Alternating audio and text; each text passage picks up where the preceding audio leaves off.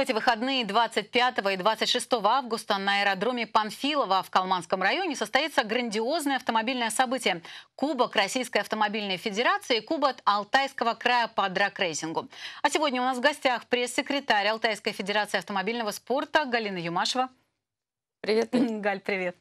В этом году в Алтайском крае уже состоялось два этапа чемпионата Сибири и чемпионата Алтайского края по драгрейсингу, а теперь Кубок. В чем отличие? А, Кубок РАФ в какой-либо автодисциплине проводится один раз в год, и в этом году честь провести его выпала Алтайскому краю. Ну, это, скажем так, гонка э, в некотором смысле российского значения, то есть не региональная, не э, округа, да, а уже э, рангом повыше. Угу. А в чем отличие между Кубком Российской автомобильной федерации и Кубком Алтайского края. Отличаются, может быть, условия участия. Может быть, в Кубке Алтайского края только представители нашего края могут поучаствовать? Ну, по большому счету, э, принимать участие э, пилоты могут и в том, и в другом кубке. Но, как правило, гонка регионального значения, она больше для начинающих пилотов, э, которые еще ни разу не пробовали себя в дрэгрейсинге или пробовали, но еще достигли не особо больших результатов. Но и именитые пилоты тоже принимают в Кубке Алтайского края участие. А, э, там единственное отличается э, стартовым взносом, ну и, скажем так, ну престижностью, что ли. Естественно, в Кубке РАФ э, участвовать престижнее, чем в Кубке Алтайского края. Но еще раз повторюсь, для начинающих это очень хорошая площадка, чтобы попробовать свои силы Кубок Алтайского края. Они параллельно будут проходить? Да, они будут проходить параллельно, одновременно, а, одновременно и то, и другое. А в чем вообще суть дрэк-рейсинга? Может быть, кто-то не знает. Ну, я, допустим, правда не знаю. А, в драгрейсинге участвуют автомобили. Нужно проехать по прямой линии 402 метра, четверть мили. А многие говорят о том, что вроде как, э, ну и что там, проехать э, по прямой, вроде несложно, да? Ну, я вот, мне кажется, в легкую. Ну, приезжай, попробуй. Легко. Твой автомобиль э, запросто подойдет для участия. А, да, но тем не менее, э, вот я, например, когда еще была журналистом и приезжала на дрэг-рейсинг на съемки, э, когда ты вот, ну, наскоком смотришь на все это, вроде и неинтересно. Вроде как бы и, ну, не понимаешь, ну, ладно, что они там проехали и все.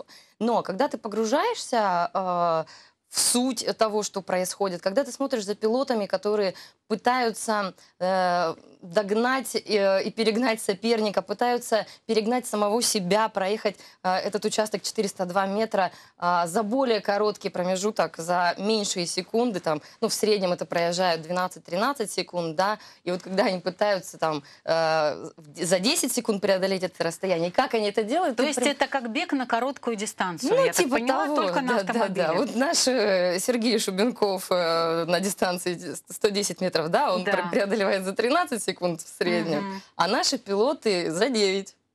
Понятно. Ну и тоже, конечно, мастера ну, Мы уже немножко начали говорить да, про дрэг-рейсинг, что это ну, многие считают, что это немножко скучноватый вид спорта, в отличие от того же дрифта. Угу. А ты как считаешь, тебе что интереснее? Ну, дрифт, да, конечно, он зрелищный вид спорта, и можно просто прийти, посмотреть, да, а, не вникая в суть того, что вообще там происходит на а, площадке, а, что, что там приходится испытывать пилотам, какую они предварительную подготовку проводили. Ну, как бы не обязательно в это вникать, просто ты смотришь на то, как машина валит боком, как у нее из-под колес идет дым, и ты уже наслаждаешься зрелищем. В, дрифт, в дрэге, конечно, А, такой зрелищности нет, и тут вот все-таки, а, ну, колеса а, тоже пилоты прогревают, тоже дым из-под колес есть.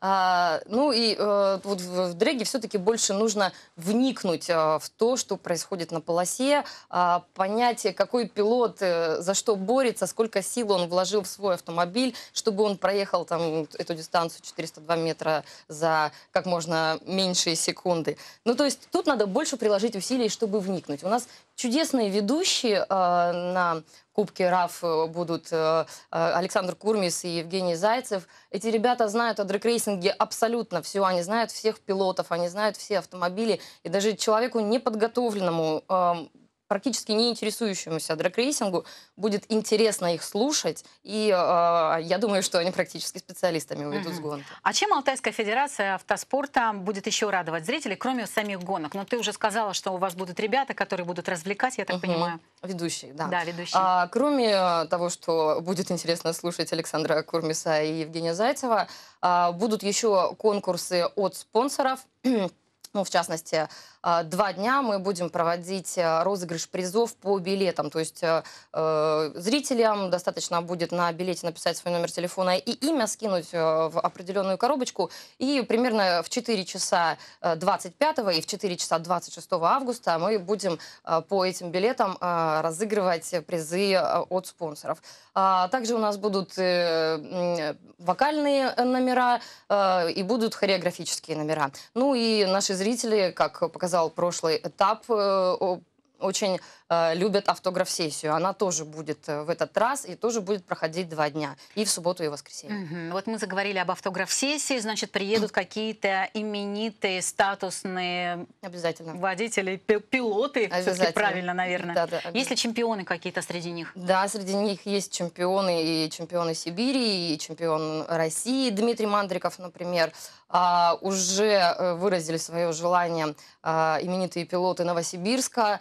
А, ну, в Барнауле тоже э, есть пилоты, которые относятся к топовым пилотам, тоже планируют приехать. В общем, ждем много интересных заездов, и я думаю, что зрителям скучно не будет однозначно. А почему все-таки драгрейсинг проводится так далеко от Барнаула, на аэродроме Панфилова, и говорят, что какой-то очень сложный подъезд к нему? Аэродром Панфилова на данный момент, э, ну, в округе Барнаула, скажем так, да, это, пожалуй, самая удобная и, главное, самая безопасная площадка для проведения подобного э, вида спорта, автоспорта. Э, есть и э, полоса для разгона, есть и полоса для торможения. И главное, что э, на ней есть бетонные ограждения, которые э, защищают зрителей от ну, каких-либо возможных э, там, аварий или неприятных ситуаций, которые могут произойти на э, полосе э, гоночной. Угу. А вот подъезд? Подъезд, да. да. Э, подъезд к аэродрому э, много лет был через поле. Угу. То есть доезжаешь до Новороманова и потом сворачиваешь в поле и поехал. Э, ну, во-первых, поле, понятно, что как бы дорога уже сама по себе не очень. А угу. если прошел дождь, то вообще не проехать. А, вот председатель Алтайской Федерации автоспорта Андриан договорился с колонией поселения а, которая пошла нам на уступки и а, открыла двери, э, чтобы э, наши гости и наши пилоты могли проехать мимо колонии по гравийной дороге, которая, ну, конечно, не супер, но, во всяком ну, случае, ну, лучше, лучше чем, да, полевая дорога. Угу. Галь, ну, мы уже говорили немножко о, о погоде, что она может помешать соревнованиям. Состоятся ли они в дождь, например, или только солнце? Да, конечно, в, во время дождя нельзя проводить соревнования, но сейчас уже прогноз погоды на 25-26 а, августа в Новороманово солнце и, э, и жарко. А, и я хочу обратить внимание наших телезрителей на то, что погода в Барнауле и погода в Новороманово – это две разные вещи. А, также было на прошлом этапе, когда в Барнауле лил дождь, а там стояло солнце. Поэтому смотрите прогноз погоды именно в Новороманово и приезжайте обязательно. Приезжайте в любом случае. Да. спасибо большое, удачи вам. А я напомню, сегодня в программе «Наше время» мы говорили о Кубке Российской автомобильной федерации и Кубке Алтайского края по дрэг-рейсингу, который состоятся 25-26 августа на аэродроме Панфилова, Вселенного Романова, Калманского района. Отмечу Сибирская медиагруппа, информационный партнер состязаний. До встречи.